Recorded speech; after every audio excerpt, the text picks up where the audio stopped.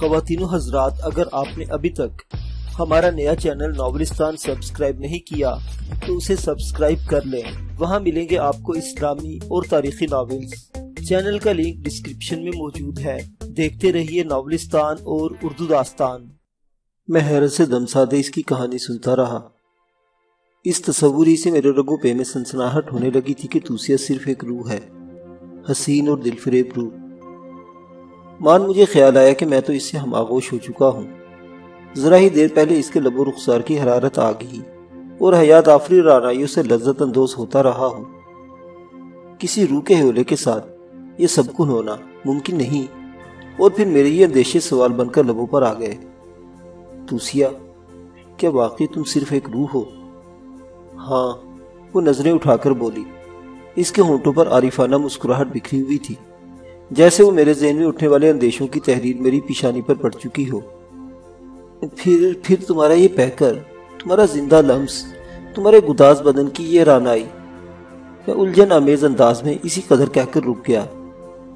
یہ ایک راز ہے، زندہ حقیقت کی طرح، وہ ہنس کر بولی۔ مجھے الجھن میں نہ ڈالو توسیا میں اس دراری انداز میں اس کا ہاتھ دباتا ہوا بولا۔ وقت آنے پر تم سب کچھ جان لو گے وہ اپنا تاج اتار کر ایک طرف رکھتے ہوئے بولی، کیا تمہیں مجھ سے محبت ہے توسیا چند ثانیوں کے بوجھل سکوت کے بعد میں نے جھجکتے جھجکتے اس سے دریافت کرنے کی ہمت کر ہی ڈالی۔ اگر مانینی کو اس ملاقات کا علم ہو گیا تو وہ مجھ پر بڑا ظلم کرے گا۔ میری روح اندھیرے کھنڈرات اور دھواں گلتی کھائیوں میں مسائل میں مبتلا کر دی جائے گی۔ اگر محبت نہیں تو مجھے یہ خطرہ مول لینے کی کیا ضرورت تھی؟ میرے اس سوال پر اس کا لہجہ قدرے اتصافانہ ہو گیا۔ آخر تم نے یہ سوال ہی کیوں کیا؟ اب میں بستی میں جا کر چیخ چیخ کر لوگوں کو بتاؤں گا کہ مانینی نے تمہیں قید کیا ہوا ہے۔ میں پرجوش لہجے میں بولا، مانینی کا تلسم ٹوٹ کر رہے گا اور میں تمہیں اپنی زندگی کا شریک بناؤں گا۔ نہیں نہیں، حسین، یہ نہ کرنا۔ وہ یکا یک بکھلا گئی۔ تم ہی نے بتایا تھا نا۔ میں فتح مندانہ لہجے میں بولا جس روز جبرین کے ہر باسی کو تمہاری قید کا راز معلوم ہو گیا، تمہیں نجات مل جائے گی۔ ہاں یہ سچ ہے، وہ میرے گلے میں باہیں ڈالتے ہوئے بولی، مگر مانینی تمہیں زندہ نہ چھوڑے گا۔ وہ بہت ظالم ہے۔ میں اپنے قلب سے نجات کے ساتھ ہی تمہاری زندگی بھی چاہتی ہوں۔ میں حرام تمہاری حفاظت کروں گی۔ مجھے یاد آیا کہ مانینی نے بھی جاتے جاتے مجھے ایسی ہی دھمکی دی تھی۔ پھر میں نے محبت برے انداز میں اپنی باہیں توسے کی پتلی سی کمر میں ڈال دی۔ وہ ذرا سا قسم اسائی اور میں نے اسے اپنے قریب کھینچ لیا۔ تم اچھے سنگ تراش ہو نا حسین؟ وہ اپنے بدن کا بوجھ مجھ پر ڈالتے ہوئے بولی۔ صرف سنگ تراشی نہیں توسیا بلکہ فنکار۔ میں اس کی زلفوں کی مہکار سونگتا ہوا بولا۔ تم نے پہلا مجسمہ کس کا تراشا تھا؟ وہ دھیمی آواز میں بولی۔ میں چونک پڑا، سردار جوبا کی لڑکی زینوں کا مجسمہ تھا۔ کیا تمہیں وہ بہت پسند ہے؟ اس بار اس کا لہجہ جذبات سے یکسر آ رہی تھا۔ پسند اور محبت دو الگ الگ راستے ہیں توسیا میں یک بے یک جذباتی ہو گیا۔ زینوں کے ساتھ میں نے بچپن میں ریت کے گھروندے بنائے تھے۔ ہم برسوں سے ایک دوسرے کے ساتھ کھیلے ہیں اور یہی میری پسند ہے۔ پھر ہر جوان مرد کو ہر قبول صورت اور نومر دوشیزہ پسند ہوتی ہے۔ اگر اسے محبت نہیں کہا جا سکتا، تم یہ سن لو کہ مجھے محبت صرف تم سے ہے۔ اگر تم نے ٹھکرا بھی دیا تو۔ میں اب زندگی بھر تمہاری پرستش کرتا رہوں گا۔ مجھے اس کی پرواہ نہ ہوگی کہ تم میرے ساتھ کیا رویہ اختیار کرتی ہو۔ میرے سر سے ایک بڑا بوجھ ڈل گیا۔ وہ پہلی بار شوخ انداز میں ہنس پڑی۔ مجھے ڈر تھا کہ کہیں میرے اور زینوں کے درمیان تم کسی امتحان میں نہ پڑ جاؤ۔ کیا صبح سے مانینی تم سے ملا؟ میں اس کے لبادے کے بندنوں سے کھیلتے ہوئے کہا، ایک بار خیمے میں آیا تھا، پھر کچھ کہے بغیر لوٹ گیا۔ اور اسے اس دوسری حقیقی ملاقات کا علم ہو گیا تو ہو جائے۔ مجھے ایک بار تو یہ خطرہ مول لینا ہی تھا۔ اس نے میری طرف دیکھ کر اور سر پٹا کر نظریں چھڑا دی میری نگاہوں میں چھپا وہ پیغام اس کے لیے حیا کا باعث بن گیا۔ میرے ذہن سے دقت اور ماحول کا ہر احساس مٹ گیا۔ میرے سامنے بس دوسیا کا پیکر تھا۔ اس کی وجود کی لذتیں تھی اور میں زندگی میں پہلی بار اس کے ذریعے مسرتوں کی ایک نئی کائنات تخلیق کر رہا تھا۔ وقت جہاں تھا وہیں تھم گیا۔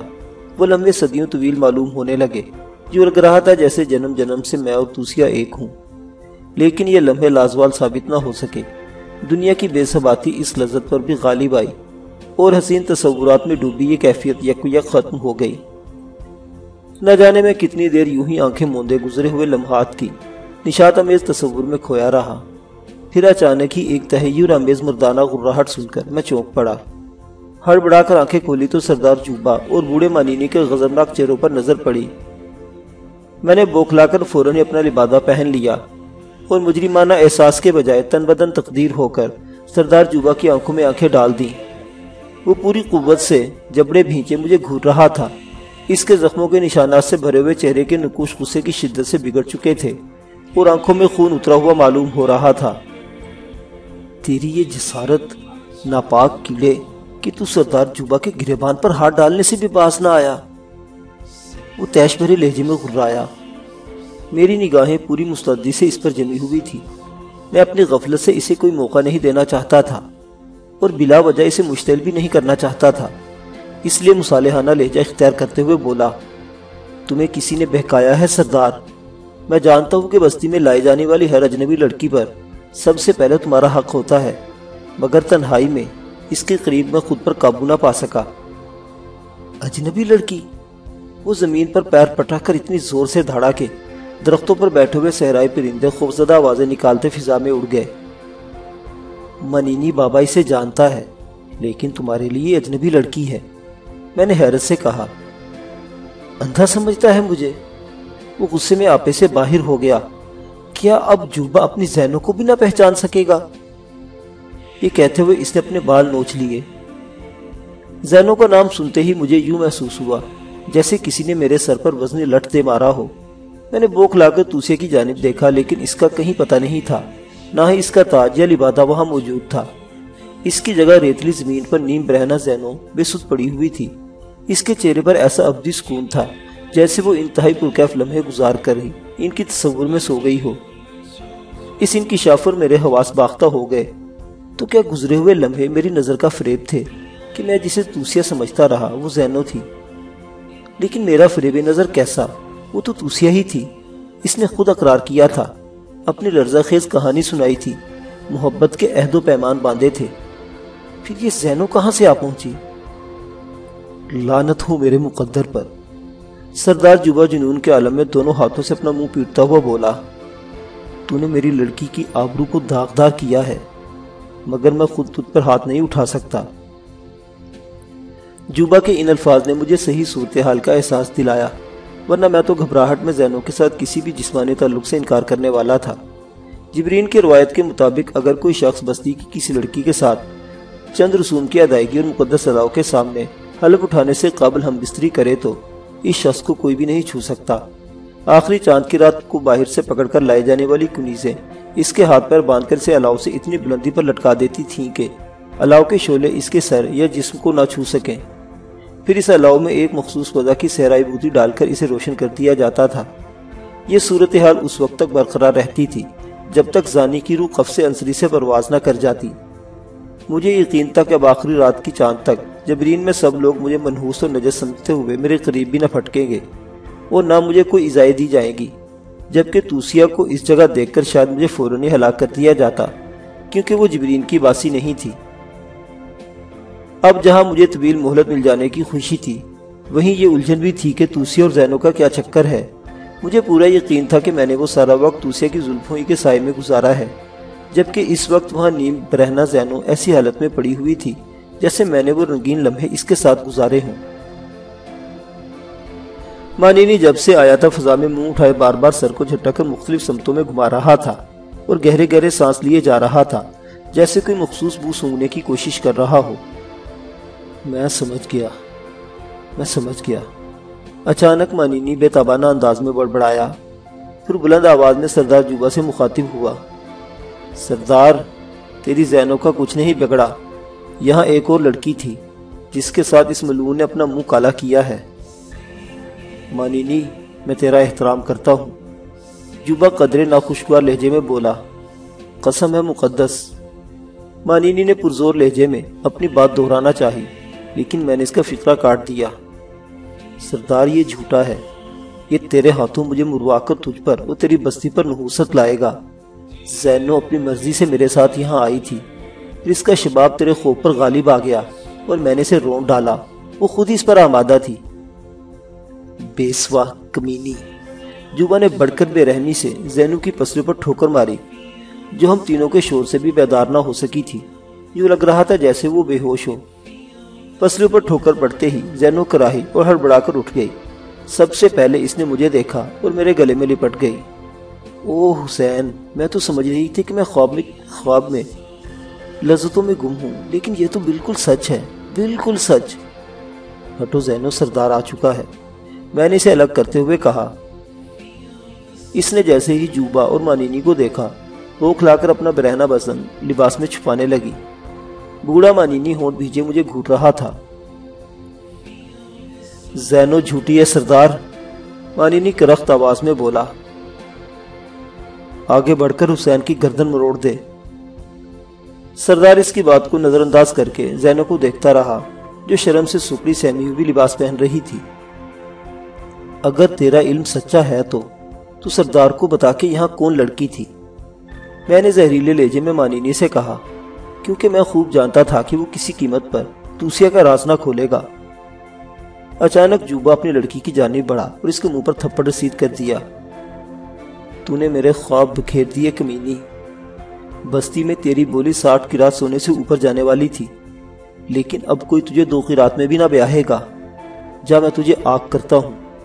وہی لاوارس عورتوں والی چوپال تیرا مقدر ہے، جہاں بستی کے سب لوگ تجھے اپنا کھلونا بنائیں گے۔ بابا زینو بلک کر رو پڑی۔ اپنا فیصلہ واپس لے لو، حسین مجھے بیاہ لے گا۔ نہیں، سردار جوبا اتنی زور سے دھاڑا کہ اس کی آواز بھر گئی۔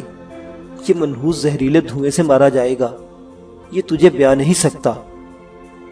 زینو سردار کے پیروں سے لپٹ کر پھوٹ پھوٹ کر رونے لگی۔ اور وہ اس کے بال نوچ کر اسے دور کسیٹنے کی کوشش کرنے لگا۔ حالات کا یہ موڑ بہت ہی غیر متوقع اور نازک تھا۔ مجھے علم تھا کہ مانینی سچ کہہ رہا ہے۔ میں نے نشاد میں ڈوبے ہوئے لمحے توسیہ کی جوان آغوش میں گزارے تھے، جبکہ زینو پر اسرار طور پر وہاں نظر آئی تھی۔ اور میں نے محض چند سانسوں کی مہلت پانے کے لیے اسے بھی اپنے گناہ میں آلودہ کر لیا تھا، جس کی پاداش میں اس کا باپ اسے گھر سے نکال کر جبرین کے بیوہ خانے میں پھینک رہا تھا۔ سردار، میں اس کی بولی پانچ کی رات دیتا ہوں۔ میں نے اپنی منہ بولی متوفیہ ماں کی جمع پونجی کا حساب لگا کر سردار جوبا سے کہا، تو اسے کنیز بنائے گا؟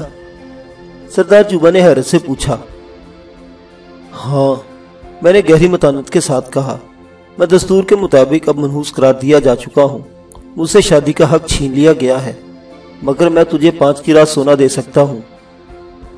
پاگل ہے تو؟ سردار جوبا خود کلامی کے انداز میں بڑبڑایا۔ پانچ کی رات میں تو جبرین کے چرواہوں کی لڑکیاں میں بیاہ مل جاتی ہیں۔ مگر ٹھیک ہی ہے، تیرا کون وارث ہے جس کے لیے تو سونا چھوڑے گا؟ میں خاموش رہا۔ مہینے کی آخری رات تیری زندگی کا ساز خاموش ہو جائے گا اور پھر زینو اسی چوپال میں پہنچا دی جائے گی۔ کیونکہ جن کنیزوں کے آقا مر جاتے ہیں، وہ بھی لاواری سی کہلاتی ہیں۔ سردار جوبا نے زمین پر پڑی ہوئی زینو کو دیکھتے ہوئے کہا، جو ریت پر اوندھائے اوندھے منہ پڑے رو رہی تھی۔ نہیں، میں نے ٹھوس لہجے میں کہا، پانچ مہینے تو انتظار کرنا ہی ہوگا۔ کون جانے کے زینو کی کوک میں میرا بچہ پروان چڑھنا شروع ہو جائے۔ ٹھیک ہے، سردار جوبا یہ کہہ کر واپسی کے لیے مڑا۔ اس دوران میں کنا پرور مانینی مجھے گھوٹتا رہا۔ سردار کے مڑتے ہی وہ لپک کر میرے قریب آیا اور میرے کان میں سرگوشی کرتے ہوئے بولا مانینی سے کوئی بات چھپی نہیں رہتی۔ میں یہاں توسیہ کے بدن کی مہک سونگ رہا ہوں اور سارا راز جان چکا ہوں۔ وہ بڑی دیر یہاں رکی ہے۔ اسی وقت جوبا ہمیں پیچھے نہ آتا پا کر واپس لوٹا اور مانینی کو رازدارانہ انداز میں مجھ سے سرگوشی کرتے ہوئے دیکھ کر خاصا حیران ہوا۔ مانینی بابا، تو اس چھوکرے کو کیا بتا رہا ہے؟ اس نے قریب آتے ہوئے مشکوک لہجے میں پوچھا۔ مانینی غیر فطری اور کھوکھلے انداز میں ہنس کر رہ گیا اور میں نے محسوس کیا کہ جوبا مانینی کی جانب سے شبہات میں مبتلا ہو چکا ہے۔ یہ تبدیلی میرے لیے امید افزا اور خاصی خوشگوار تھی۔ آؤ زینو، یہاں سے چلے۔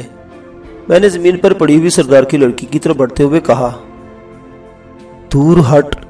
سردار اچھل کر میرے اور زینوں کے درمیان آ گیا۔ پانچ کی رات سونا دیے بغیر تو اس لڑکی کو ہاتھ بھی نہ لگا سکے گا۔ لٹی پٹی زینو ہمارے سمرہ بستی کی جانب چل پڑی۔ اس کے لڑکھڑاتے ہوئے قدم مجھے شبہات میں ڈال رہے تھے کہ کہیں توسیہ کی جگہ وہ وقت میں نے زینو کے ہمراہ ہی نہ گزارا ہو۔ یہ گتھی اس قدر پیچیدہ اور پرسرار تھی کہ میں مسلسل تذبذب کا شکار ہو کر رہ گیا تھا۔ اور بظاہر توسیہ سے اگلی ملاقات سے قبل اس معمے کا راز حل ہونے کی امید نظر نہیں آ رہی تھی۔ بستی میں داخل ہونے سے قبل میں نے آتش قدے کے قریبی میدان میں لوگوں کو اپنی منہ بولی ماں کی لاش کے گرد جمع ہو کر آخری رسوم کی تیاریاں کرتے دیکھا۔ میری خواہش تھی کہ میں بھی ان رسوم میں شرکت کروں، لیکن جوبا نے سختی کے ساتھ مجھے روک دیا۔ زینوں کے ساتھ مشکوک حالت میں پائے جانے کے بعد میں جبرین میں تیسرے درجے کا شہری ہو کر رہ گیا تھا، جسے کسی رسم یا تقریب میں شرکت کا حق نہیں تھا۔ اپنے ویران جھوپڑے میں پہنچ کر میں نے سو کا سرخ پرچم نوچ دیا اور اندر صدوق میں سے وہ سونا نکال کر سردار کے حوالے کر دیا۔ جو میری منہ بولی ماں نے تقسیم ہونے والے مال غنیمت سے پس انداز کر کے میری شادی کے لیے جمع کیا ہوا تھا۔ سونے کے وزن کا اندازہ کر کے جوبا نے زینوں کا بازو پکڑ کر بے رحمی کے ساتھ اسے میری جانب دھکیل دیا اور وہ میرے سینے سے لگ کر بے بسی سے رو پڑی۔ اس کی حالت اتنی رقت انگیز تھی کہ میرا دل بھر آیا۔ ایک لمحے کے لیے میں نے سوچا کہ کھل کر اصل صورتحال کا اظہار کر دوں، لیکن اول تو جوبا میری بات کا اعتبار نہ کرتا۔ اور دوسری طرف توسیہ کا نام کھلتے ہی میری جان کے لالے پڑ جاتے۔ موجودہ صورتحال میں کم از کم مجھے اتنی تو امید تھی کہ توسیہ مجھ سے دور رہتے ہوئے بھی میری حفاظت کرے گی۔ کشاں کشاں ہم سردار جوبا کے خیمے پر پہنچے۔ سردار نے اپنے سیافام غلام تالیس کو بلا کر اشاروں سے میرے بارے میں سمجھایا اور پھر مانینی کے ہمراہ آتش قدے کی جانب لوٹ گیا تاکہ مرنے والے کی آخری رسوم کی ادائیگی شروع ہو سکے۔ سردار جوبا کا دیو پیکر غلام تالیس کسی گینڈے کی طرح طاقتور تھا۔ ساتھ ہی وہ سماعت اور گویائی کی گویائی کی قوتوں سے بھی محروم تھا۔ سردار کے جانے کے بعد میں نے کئی بار اشاروں کی مدد سے اس سے بات کرنی چاہی، لیکن وہ پتھر کی کسی بت کی طرح نیزہ سنبھالے بیٹھا رہا۔ سردار کی لڑکی زینوں کو دوسری کنیزوں نے گھیر لیا تھا۔ وہ سب بدنصیب لڑکیاں وہ حالات جاننے کے لیے بے چین تھی جن کے تحت ان کی مال کا پل بھر میں انہی کی صف میں لا کر کھڑی کر دی گئی تھی۔ سورج غروب ہونے کے بعد جوبا تھکا ہرا واپس آیا۔ اس کے پیچھے آنے والے غلام نے ایک بڑا سا چوبیس صندوق میرے سامنے ڈال دیا اور لوٹ گیا۔ جوبا نے لباس کی گھر جھاڑنے کے بعد شراب کے کئی جام حلق میں انڈے پھر سراہی سنبھالے میرے سامنے آ بیٹھا۔ اس کا انداز بتا رہا تھا کہ وہ مجھ سے کوئی خاص بات کرنے والا ہے۔ چند لمحوں تک میرے چہرے کو گھورتے رہنے کے بعد اس نے اپنے غلام تالیس کو بھی اشارے سے وہاں سے ہٹا دیا۔ میں ہمتن گوش ہو کر اس کی جانب متوجہ ہو گیا۔ تیری زندگی کے دن تو آخری چاند رات کو پورے ہو رہے ہیں۔ حسین، سردار جوبا کے خوفناک چہرے پر گھمپیرتا تاری تھی۔ اور لہجہ قدرے ہمدردانہ تھا۔ میں نے سر کو اس بات میں جنبش تھی اور تو یہ بھی جانتا ہے کہ اس وقت تک تجھے کوئی رات نہ دی جائے گی۔ ٹھیک ہے، میں اس کے لیے تیار ہوں۔ میں نے اس کا سودے بازی کا انداز بھانپتے ہوئے ٹھوس موقع اختیار کر لیا۔ اس صندوق میں تیرے سارے اوزار ہیں۔ جھونپڑے کو آگ لگانے سے پہلے میں نے یہ سب نکلوا لیے تھے۔ وہ میرے سامنے پڑے ہوئے چوبی صندوق کی طرف اشارہ کرتے ہوئے بولا، کیا اب تمہارا سنگ تراشی کا ارادہ ہے؟ میں نے حیرت سے دریافت کیا، بکواس مت کرو، سردار جھلا گیا۔ اگر تم میرا ساتھ دو تو یہ اوزار تمہیں مل سکتے ہیں۔ اور اس نے خاموش ہو کر گرد و پیش میں نظریں دوڑائی۔ اور رازدارانہ لہجے میں بولا، میں موت سے پہلے تمہیں زین و سمیت یہاں سے فرار ہو جانے میں مدد بھی دے سکتا ہوں. اس بات کی پیشکش پر میرا تجسس پڑ گیا۔ میں نے محسوس کیا کہ جوبا اس وقت بہت زیادہ دلچسپ موضوع پر بات کر رہا ہے۔ لیکن تمہارا ساتھ کیسے دوں؟ میں نے انجان بن کر مظاہرہ کرتے ہوئے حیرت سے کہا، ٹھہرو۔ میں بھی اس معاہدے کا ایک فریق ہوں۔ خیمے میں بوڑھے مانینی کی کرخت اور زہریلی آواز گونجی۔ اور وہ آہنی شام والی چھڑی کی گردش دیتا ہوا مردانہ وار اندر گھس آیا سردار جوبا نے شراب کی سراہی کو ایک طرف پھینک دیا اور اپنی جگہ سے اٹھ گیا۔ یہ صورتحال خاصی سنسنی خیز تھی۔ میں اپنے دونوں دشمنوں کے درمیان سے ایک طرف سرک گیا۔ حالات خود بخود ایسا رخ اختیار کرتے جا رہے تھے کہ مجھے اپنا مستقبل یک بیک تابناک نظر آنے لگا تھا۔ میں اپنی تقدیر کے زہر خند سے قطعی بے خبر تھا۔ معزز سامعین حضرات کہانی بھی جاری ہے بقیہ واقعات اگلی قسط میں۔ دیکھتے رہیے اردو داستان۔ اللہ حافظ۔